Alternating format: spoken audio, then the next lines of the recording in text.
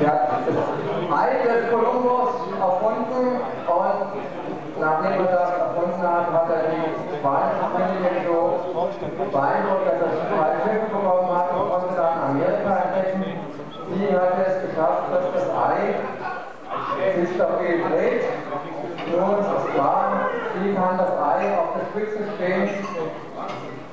Ist ganz klar, er hat das hier in eine Rotation versetzt. Und das ist ja Rotation, aber natürlich nur, wenn das Ei gekocht ist.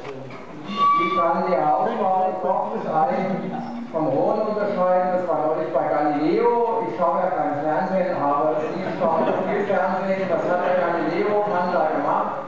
Isma Tender, oder wie der heißt, irgendwie so einen arabischen Namen hat der. Also hier haben das Rohei, was passiert mit dem rohen Ei? Das ist ein ganz da dreht sich innen. Wer hat hier Galileo gesehen? Hier, Sie sind doch so eifrige Fernsehschafzuschauer. Was haben Sie da gemacht dem rohen Ei? Äh, Internetfernsehen haben Sie, ja, ist das gleiche. Also was hat er gemacht? Der hat es gedreht, was ist dann passiert mit dem Ei? Umgekehrt nicht geplatzt. So. Das kippt um. Jetzt haben Sie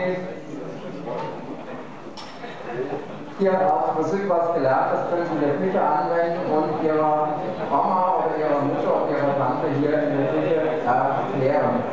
Jetzt wollen wir noch ein paar schöne Experimente dazu sehen.